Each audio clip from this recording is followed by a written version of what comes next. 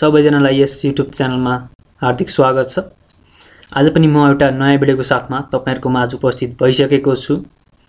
अहिले जुन नेपाल विद्युत प्राधिकरणले आइपिओ निष्कासन गर्ने जुन अहिले हल्ला चलिरहेको छ चर्चाको विषय चलिरहेको छ यसको विषयमा मैले भिडियो लिएर आएको छु। के यसले साँच्चीकै तत्कालै आइपिओ लिएर आउन थालेको हो त? र कति त आइपिओ जारी गर्दैछ? र कहिलेसम्ममा यसले आइपिओ जारी गर्न सक्छ? र कुलमान घिसिङले को जुन के भनिरहेका छन् यस विषयमा त्यो विषयमा मैले मेरो लगानी साथसाथै बिचला जस्ता वेबसाइटहरूबाट केही पोइन्टहरू लिएर तपाईँलाई यहाँ चाहिँ मैले एउटा भिडियो बनाएको छु जुन चाहिँ तपाईँहरूको लागि चाहिँ एउटा सूचनामूलक भिडियो हुनसक्छ। त्यसैले भिडियोलाई अन्तिमसम्म हेरेर साथ दिनुहोला। अहिले फेसबुक ट्विटर लगायत युट्युबहरूमा नेपाल विद्युत प्राधिकरणले अब छिटै नै आइपिओ निष्कासन गर्ने भनेर विभिन्न भिडियोहरू आइरहेका छन्। र यसको प्रक्रिया कहाँसम्म पुगेको छ र के हुँदैछ के साँच्चीकै जुन पच्चिस पर्सेन्ट यानि कि तिस अरबभन्दा बढीको आइपिओ के साँच्चीकै निष्कासन लागेको हो त त्यो विषयमा हामीले चर्चा गर्नेछौँ। त्यसैले भिडियोलाई अन्तिमसम्म हेर्नुहोला।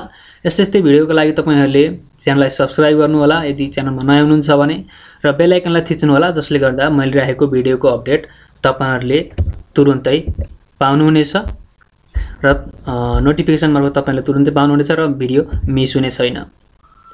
विगत केही दिनदेखि फेसबुक भाइबरमा एकतिस अरब बराबरको आइपिओको निष्कासन भन्ने खबर भरिपूर्ण छ र वास्तवमा यो खबर चाहिँ यदि बिच सालाबाट मैले यो लिएको हुँ यो खबर सेप्टेम्बर दुई हजार उन्नाइसको हो र त्यसबेला नेपाल विद्युत प्राधिकरणका प्रबन्ध निर्देशक कुलमान घिसिङले प्राधिकरणले चुक्ता पुँजीको पच्चिस प्रतिशत बराबरको आइपिओ निष्कासन गर्नका लागि प्रक्रिया अघि बढाउने भनेका थिए। र अहिले सामाजिक सञ्जालहरूमा प्राधिकरणको आइपिओबारे त्यही समाचारले ठाउँ पाएको देखिन्छ। तर प्राधिकरणले रेटिङ भने आइपिओको निष्कासनको बिक्रीको तयारीको लागि एउटा चरणमा चाहिँ क्रेडिट रेटिङ भने डबल ए प्लस प्राप्त गरेको छ। जसले ICRA NP double A plus स्तरको रेटिङ प्रदान गरेको छ र डबल ए प्लस रेटिङ प्राप्त गर्ने संस्थाको आफ्नो वित्तीय तथा आर्थिक दायित्व समयमै वहन गर्न सक्ने उच्च क्षमता अथवा सुरक्षित रहन्छ भन्ने बुझिएको छ यसरी। र विगतमा हेर्ने हो भने प्राधिकरण वार्षिक घाटामा नै थियो नोक्सानीमा थियो। सबै वित्तीय सूचाङ्कहरूमा अहिले भने उल्लेखनीय सुधार आइसकेको छ केही वर्ष यता। र क्रेडिट रेटिङबाट पनि प्राधिकरण लगानी सबै हिसाबबाट चाहिँ सुरक्षित रहेको विश्लेषण यो क्रेडिट रेटिङबाट देखिन्छ। अब भने प्रक्रियामा आइपिओ निष्कासनको प्रक्रियामा ऐनमा भएको व्यवस्था अनुसार सेयर निष्कासन गर्न सरकारसँग सहमति लिएर प्रक्रिया अगाडि बढाउँछौँ भनेर घिसिङले भनेका छन्।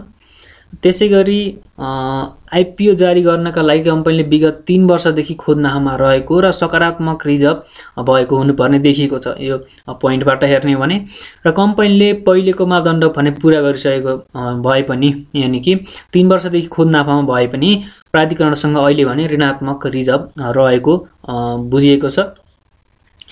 त्यसकारण रिजर्भलाई सकारात्मक रूपान्तरण गर्न थप दुई वर्ष लाग्न सक्छ भन्ने कुरा चाहिँ न्युजमा आएको छ। त्यसैले गर्दा अहिले तत्कालै चाहिँ है त तत्कालै चाहिँ आइपिओ निष्कासन हुने सम्भावना चाहिँ त्यति देखिँदैन। केही समय भने लाग्न सक्ने सम्भावना देखिएको छ।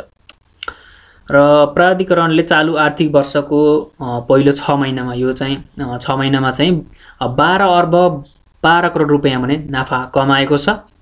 केही वर्षदेखि नै नाफामा रहेको विद्युत प्राधिकरणले आइपिओ निष्कासन गर्ने खबर लगानीकर्ताहरूमा थप चासोको विषय बनेको छ। किनभने अहिले नयाँ लगानीकर्ताहरू बढे सँगसँगै आइ आइपिओमा चाहिँ आवेदन दिने अधिकांश लगानीकर्ताहरूको हात खाली हुने गरेको छ ठुलो सङ्ख्यामा आइपिओ निष्कासन गर्ने खबरले नयाँ लगानीकर्ताहरू भने उत्साह भएको देखिन्छ। जुन चाहिँ यो विद्युत प्राधिकरणको आइपिओ सँगसँगै उत्साह भएको देखिन्छ। सिडिएससीको पहिलो सरी पछिल्लो तथ्याङ्क अनुसार चाहिँ झन्डै पचास लाख डिमेट खाता खुलिसकेका छन् र डिमेट खाता बढे सँगसँगै आइपिओमा आवेदन दिने सङ्ख्या पनि बढेको देखिन्छ। तपाईँहरूले पछिल्लो समयमा राष्ट्र उत्थान साथै नेस्डो लघुवित्त जस्तो आइपिओमा पनि बिस पच्चिस लाख आवेदकहरूले आवेदन दिए दिने गरेको र धेरै लगानीकर्ताहरूको हात खाली हुने गरेको देखिएको छ। त्यसैले गर्दा पनि अब ठुलो एमाउन्टमा चाहिँ आइपिओ विद्युत प्राधिकरणले निष्कासन गर्ने जुन चाहिँ हल्ला छ अथवा भनौँ गर्ने भएको छ त्यसमा चाहिँ अवश्य पनि उत्साह हुनु त स्वाभाविक नै हो। र आइपिओ कहिले आउने र प्राधिकरणले कति किता आइपिओ निष्कासन गर्ने हो भन्ने जस्ता लगायतको प्रश्न आम लगानीकर्ताहरूमा पनि भएको देखिन्छ।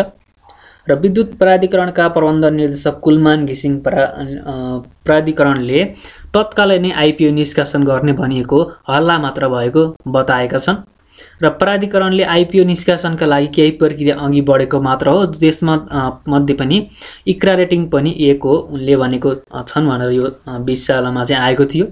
र विद्युत प्राधिकरणले डबल ए प्लस रेटिङ पाएको छ अघि पनि मैले भनि नै हालेँ।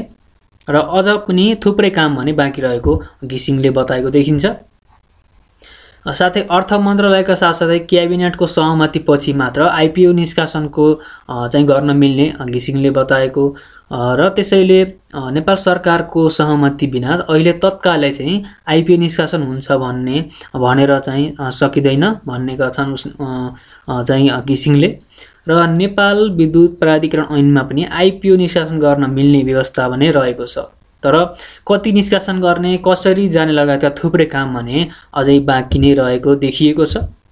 यसरी हेर्ने हो भने तत्कालै आइपिओ चाहिँ निष्कासन हुने सम्भावना चाहिँ देखिँदैन र आइपिओको रेटिङ गर्ने काम चाहिँ भएको छ र के कति आइपिओ निस् निष्कासन हुन्छ एक्ज्याक्टली त्यो चाहिँ पछि सूचना आउने नै छ। त्यसको लागि पनि केही समय लाग्न सक्छ।